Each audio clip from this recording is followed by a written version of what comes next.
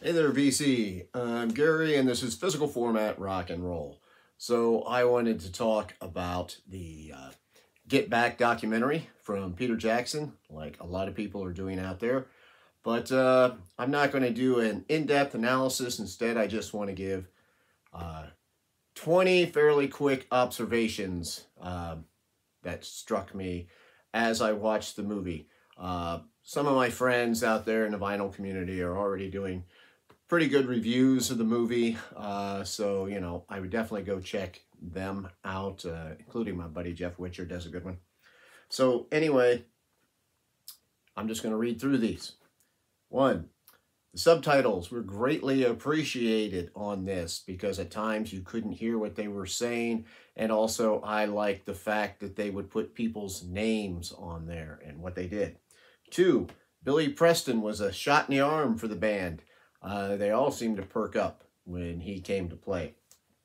Three, Yoko Ono should never be around a microphone. Four, Paul McCartney is crazy talented, in case you didn't know that. The guy plays everything. Uh, next, Michael Lindsay Hogg, uh, the director, he is incompetent.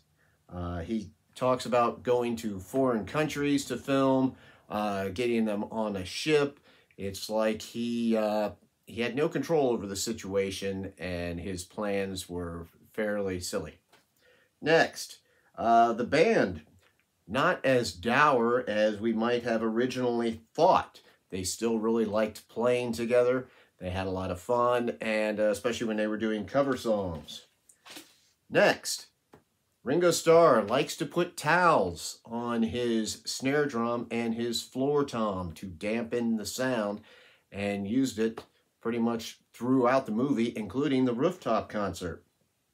Next, I love Paul's smile when they are up on the rooftop and he turns around and he sees that the cops are there. That grin that he has, awesome. Next, these guys smoke way too much, don't they? Uh, everybody around them is smoking. They're smoking all the time. I think a lot of it was peer pressure.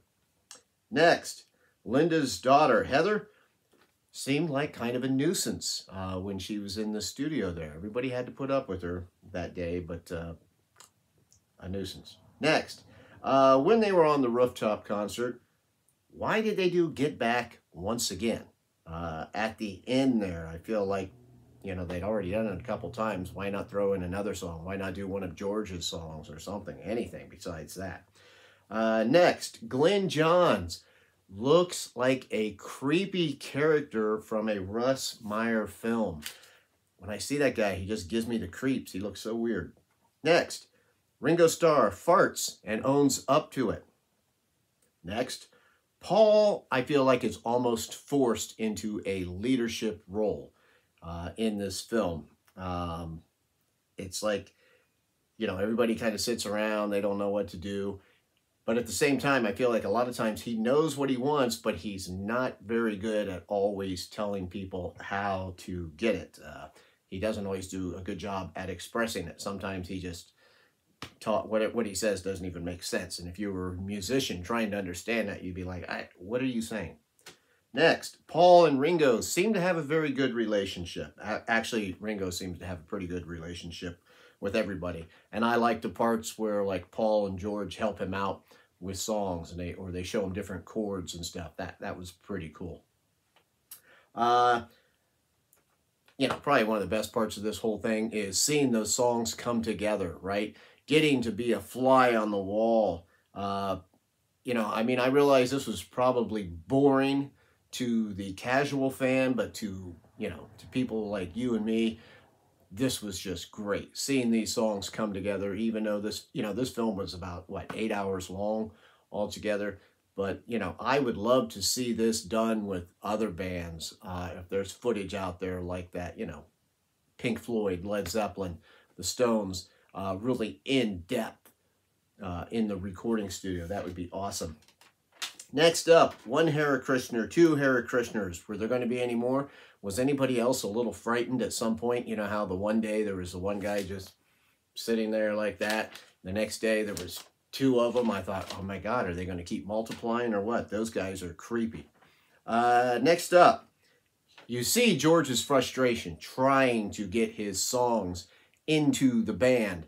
You know, you had that monopoly there uh, with Paul and John uh, always coming together to work on, you know, they had their own songs, but they worked together on them all the time. And George, they work on his songs, but not as much. But I also think he took the wrong uh, method there where he, like, you know, throws a little fit. He quits the band for a while. I feel like he should have just said when he brought a song in, hey, look, Paul, pick up your bass. Uh, Ringo, get back there on the damn drums. John, here you go. All right, guys, here's how this song goes. We're doing it. Come on, George. Next up, uh, you know, the Beatles probably didn't really like having Yoko Ono there uh, hanging around all the time, but they did a pretty good job of not letting it become too much of a distraction. Uh, it's really not as big an issue as what we have always believed. I mean, yeah, you could tell they they probably didn't want her there, but at the same time, after a while, I think they just kind of ignore the fact that she's even there. I mean, including John, until Yoko has to, you know, keep poking at him. He has to turn around. Oh, hi, Yoko, you're still here. Next, finally, Thanksgiving 2021 is going to probably go down as the day that one of the greatest musical documentaries ever uh, was released, and music geeks like myself and you who are out there watching enjoyed spending all this time learning all this stuff uh, about the Beatles. I thought it was great, and uh, if you haven't seen it, you definitely need to watch it. If you are a music geek, if you are not, you're going to get a little bit bored. But Peter Jackson did a fantastic job. So remember, I am on Facebook and Twitter. Uh, Gary, physical format rock and roll. Until the next time, my friends, I will see you down the road.